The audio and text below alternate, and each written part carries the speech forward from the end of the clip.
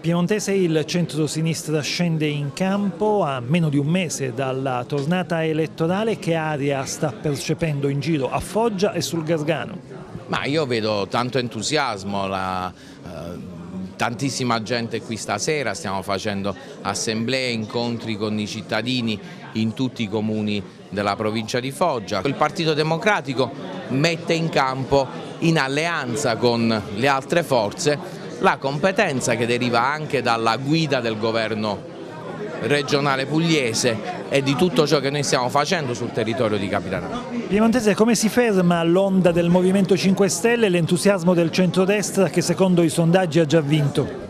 Ma io ho visto diversi sondaggi che danno anche il centro-sinistra e il PD in, in ripresa. Se dovessimo stare all'entusiasmo e alla tanta gente che è venuta qui stasera per inaugurare un comitato cittadino, io credo che i numeri sono rassicuranti e l'entusiasmo di tante donne e uomini ci danno fiducia nel rappresentare al meglio Foggia e la provincia di Foggia. Noi volevamo essere della partita e abbiamo contribuito a formare eh, le liste anche grazie all'aiuto che il Presidente Emiliano ha voluto riconoscere alla nostra rappresentanza civica con l'idea però di poter raccontare il nostro territorio, di poter movimentare i nostri amministratori. Abbiamo molto da raccontare su quello che abbiamo fatto in Regione e abbiamo poi una grandissima capacità di aggregazione che è anche evidente per le tante persone che oggi sono qui presenti. Nella coalizione di centrosinistra due marchi di fabbrica del civismo di Capitanata come Rosario Cusmai e Massimo Russo.